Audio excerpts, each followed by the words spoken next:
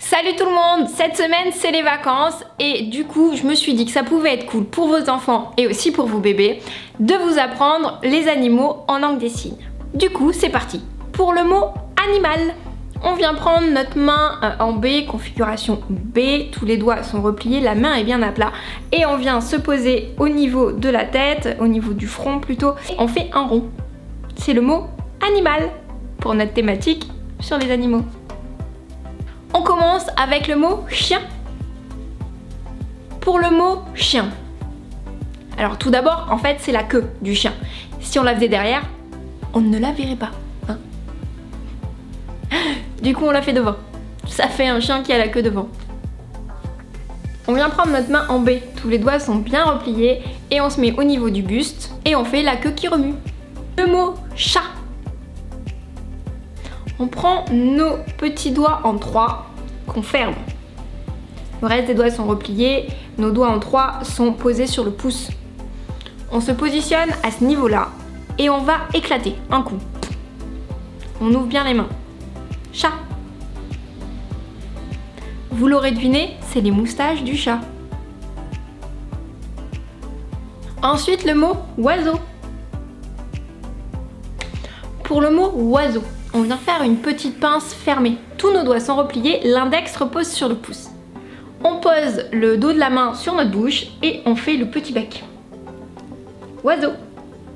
Ça vaut aussi pour poule et poulet. Vous en avez appris trois d'un coup. le poisson. Le poisson, vous le connaissez, on l'a vu dans une comptine précédente. C'est le mot poisson. On sort notre petit pouce et on fait des petits zigzags avec les doigts bien fermés. Poisson. Le mot girafe. Pour le mot girafe, on prend la main en C. On vient la poser au niveau du bas du cou.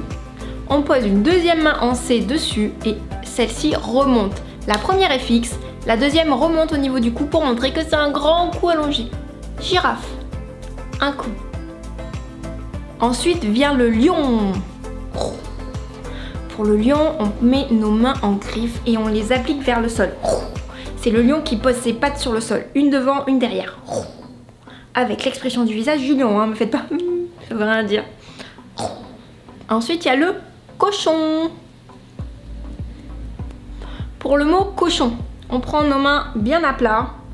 Pour rentrer les pouces, c'est plus simple. Et on vient appliquer le dos des mains au niveau des joues et on les remue.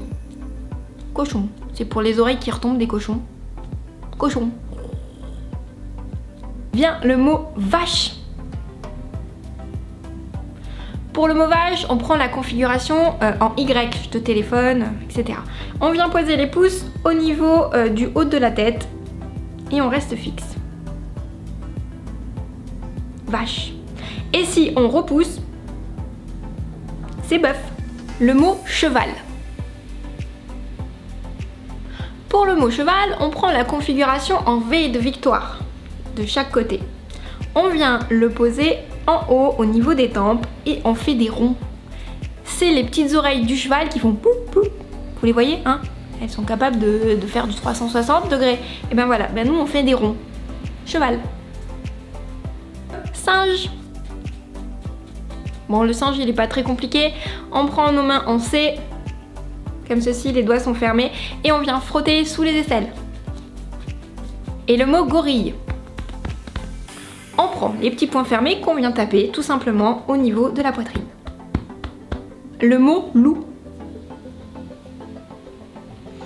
On prend notre main euh, en 5 bien ouverte, qu'on vient poser au niveau euh, du museau, parce que ça représente le museau on est ouvert et on s'éloigne en fermant. Et on devient un bec de canard. Loup, un coup. Et son petit pote, le renard, c'est avec trois doigts. On a les trois ouverts au niveau du museau qu'on remonte en fermant. Renard, un coup. Le mot escargot. Pour le mot escargot qu'on verra sûrement dans une comptine plus tard, on prend le Y, hein, la configuration Y, qu'on vient poser sur son bras et on fait l'escargot qui remonte mais doucement. Hein. Escargot. Dans la même lignée, on a le serpent. on fait le V de victoire qui représente la langue du serpent qui remonte en faisant des zigzags. Ensuite, le mot grenouille. Le mot grenouille, on prend notre configuration en 3. La grenouille, pareil, elle va être sur le bras. Et c'est le 3 qui explose. Pouing, pouing, pouing. Parce que la grenouille, ça saute. Et son super pote, le crapaud, c'est... Donc, on ferme le point qu'on ouvre, on referme, on ouvre au niveau de la gorge parce que le crapaud, enfin, ça fait cette bulle bien dégueulasse au niveau de la gorge. Et on gonfle les joues, hein, les joues, n'oubliez pas. Notre petit pote, l'ours. Pour l'ours, on fait nos mains en griffes qu'on plante comme dans un arbre. Où on lève les petites patounes. C'est ça, l'ours. Dans les petits mots trop mignons et un que j'aime beaucoup, c'est le mot koala. Pour le mot koala, on vient prendre notre main bien fermée à plat et on l'incurve un tout petit peu. Voyez? Et en fait, ça fait le nez du koala tout écrabouillé. Et on tapote de coups. Voilà. Le mot panda, en fait, ça représente les cernes, comme les cernes de maman. Hein les gros trous qu'elle a sous les yeux parce qu'elle dort pas assez la nuit. Oui, c'est ça. Ben, c'est pareil. Hmm.